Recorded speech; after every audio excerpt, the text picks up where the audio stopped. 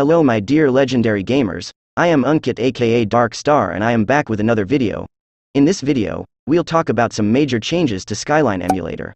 We'll look into the UI changes and some important bug fixes. So, let's get to the video. Talking about mainline release, some initial set of fixes has been implemented for Mali GPUs which greatly improves performance and game compatibility. And the deallocation of unmapped memory has been implemented which reduces RAM buildup over time in some games. Basically, it reduces the RAM usage after long gaming sessions. Talking about Edge version 38 release.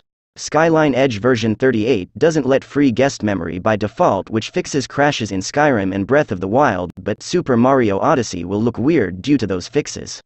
It also fixes characters issues in Persona games, and possibly fixes crashes in Brilliant Diamond and Shining Pearl, by not letting free guest buffer memory. Skyline Edge version 38 fixes water in Skyrim by clearing stencil instead of clearing depth. Random crashes in Breath of the Wild and Super Mario Odyssey has also been fixed by clearing chained fence cycles. Also, remapped clears has been fixed which will help Unreal Engine 4 games and NieR games. TIC caching has also been improved which fixes random flashing textures in OpenGL games. The latest Skyline Edge has fixed Breath of the Wild graphics on Mali GPUs by avoiding populating color targets. A pause button has been implemented in Overlay and it works just like you pause a video.